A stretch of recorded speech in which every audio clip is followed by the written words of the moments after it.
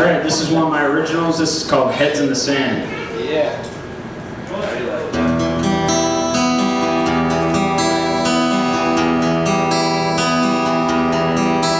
Afraid to love.